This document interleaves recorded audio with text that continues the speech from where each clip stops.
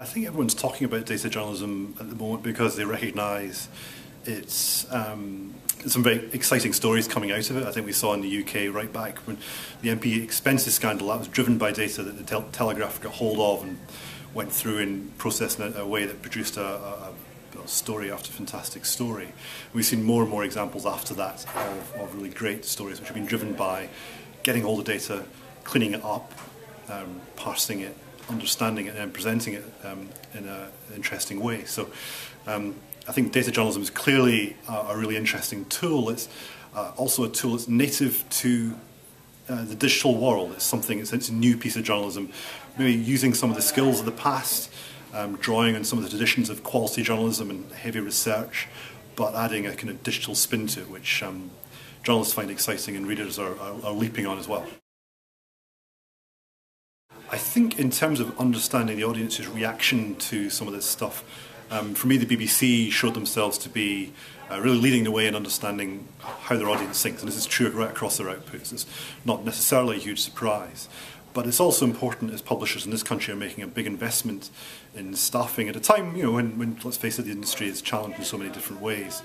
They're investing in data journalism, it also appears that they're paying attention to what that journalism is delivering for them. And so they're measuring not just simple page views or number of uniques that look at it over the course of a period of time, but also what it's doing in terms of engagement and um, how users are reacting to uh, what they're putting up. I think one of the big challenges for publishers wanting to publish more on you know, using data and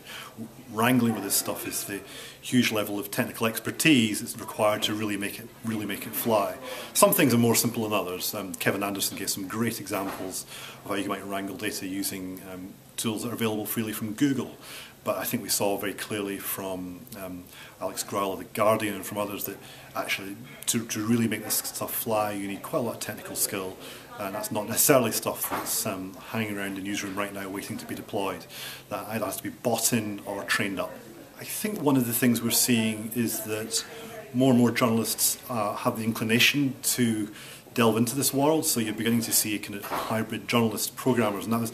defined um, at this event really as journalists who have started to dabble in programming, who are really trying to understand the principles there and maybe do a few lines of code. But that gives them great understanding, which means, of course, they can talk to specialists much more um, easily and have a more productive discussion with people who really know what they're doing when it comes to coding. Um, but we're also seeing coming out of new courses out of universities a new generation of journalists or indeed a new gener generation of programmers who are interested in journalism and who want to do good bits of journalism who understand the social need and the value of fantastic journalism, uh, important journalism that exposes things through the use of data. And so perhaps a mixture of these different uh, approaches is, some, uh, is going to be something that we want to, um,